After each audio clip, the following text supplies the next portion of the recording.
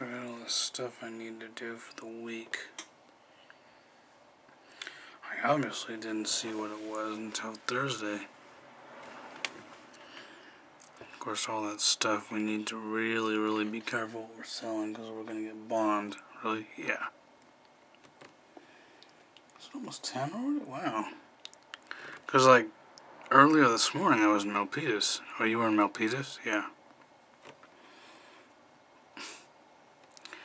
Tell anybody this, but when I was younger I used to call it Milpinas instead of Milpitas. You're gross. That's what I used to call it when I was little. I couldn't say Milpitas at the time.